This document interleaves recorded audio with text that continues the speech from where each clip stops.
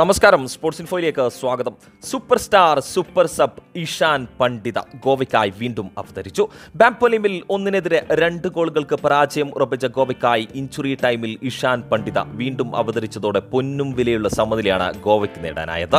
Point പട്ടികയിൽ ഇതോടെ goal വ്യത്യാസത്തിൽ ഹൈദരാബാദിനെ പിന്തള്ളി ഗോവ മൂന്നാം സ്ഥാനത്തേക്ക് കയറി.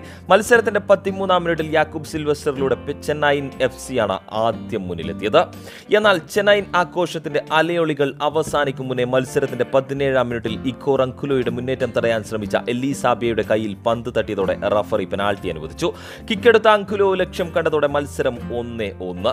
ഇതോടെ ഗോൾഡൻ ബൂട്ടിനായുള്ള പോരാട്ടത്തിൽ പന്ത്രണ്ട് ഗോളുകളുമായി റോയ് കൃഷ്ണയ്ക്കൊപ്പം എത്താനും അങ്കുലോയ്ക്കായി മത്സരത്തിന്റെ നാൽപ്പത്തി മൂന്നാം മിനിറ്റിൽ സിൽവസ്റ്ററിന്റെ ഷോട്ട് പോസ്റ്റിലിടിച്ച് മടങ്ങുകയും തൊട്ടടുത്ത നിമിഷം ലഭിച്ച അവസരം പുറത്തേക്കടിച്ച് കളയുകയും ചെയ്തതോടെ ആദ്യ പകുതി ഒന്ന് ഒന്ന് എന്ന നിലയിൽ അവസാനിച്ചു.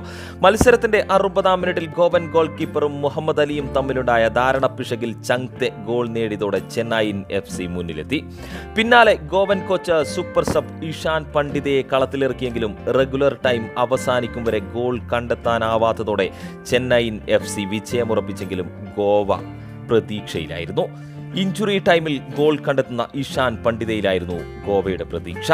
ഇഞ്ചുറി ടൈമിന്റെ മൂന്നാം മിനിറ്റിൽ ആ അത്ഭുതം സംഭവിച്ചു. സൂപ്പർ സബ് ഇഷാൻ പണ്ഡിത വല കുലുക്കിയതോടെ ഗോവ സമനില കണ്ടെത്തുകയായിരുന്നു.